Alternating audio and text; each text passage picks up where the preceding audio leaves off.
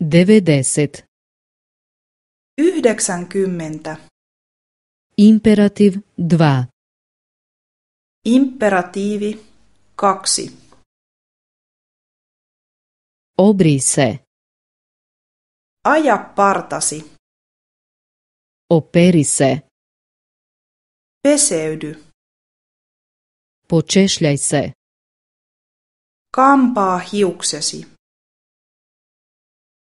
Nazovi, nazovite. Soita, soittakaa. Počni, počnite. Aloita, aloittakaa. Prestani, prestanite. Lopeta, lopettakaa. Pusti to, pustite to. Anna olla, antakaa olla. Reci to, recite to. Sano se, sanokaa se. Kupi to, kupite to. Osta se, ostakaa se. Ne budi nikad nepošten.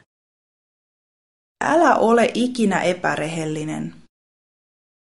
Ne budi nikad drzak. Älä ole ikinä röyhkeä. Ne budi nikad nepristojan. Älä ole ikinä epäystävällinen. Budi uvijek pošten. Ole aina rehellinen. Budi uvijek dobar. Ole aina mukava. Budi uvijek pristojan.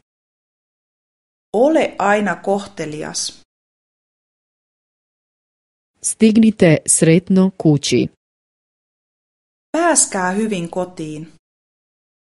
Pazite dobro na sebe. Pitäkää huolta itsestänne.